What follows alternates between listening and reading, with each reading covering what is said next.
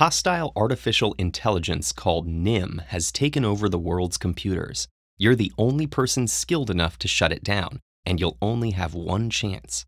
You've broken into NIM's secret lab, and now you're floating in a raft on top of 25 stories of electrified water.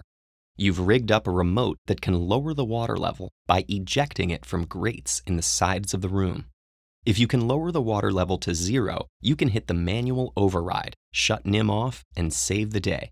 However, the AI knows that you're here, and it can lower the water level too by sucking it through a trap door at the bottom of the lab. If NIM is the one to lower the water level to zero, you'll be sucked out of the lab, resulting in a failed mission. Control over water drainage alternates between you and NIM, and neither can skip a turn each of you can lower the water level by exactly one, three, or four stories at a time.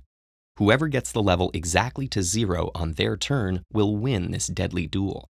Note that neither of you can lower the water level below zero. If the water level is at two, then the only move is to lower the water level one story.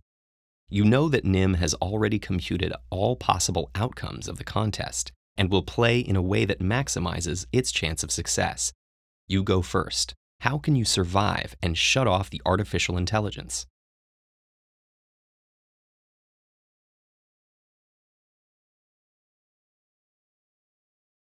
You can't leave anything up to chance. NIM will take any advantage it can get, and you'll need to have a response to any possible move it makes.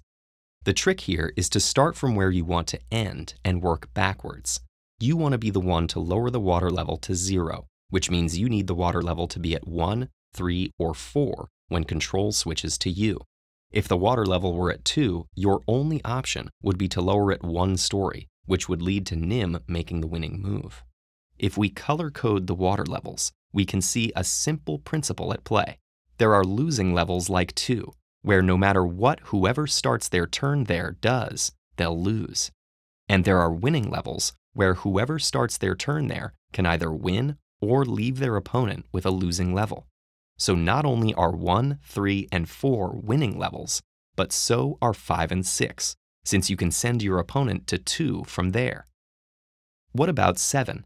From 7, all possible moves would send your opponent to a winning level, making this another losing level. And we can continue up the lab in this way. If you start your turn 1, 3, or 4 levels above a losing level, then you're at a winning level.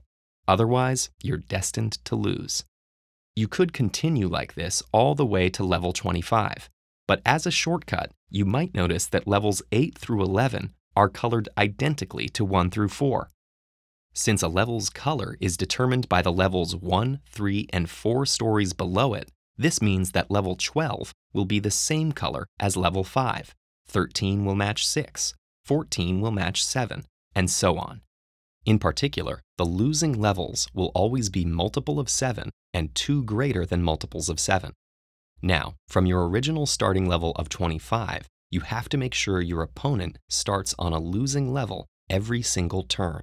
If NIM starts on a winning level even once, it's game over for you. So your only choice on turn 1 is to lower the water level by 4 stories.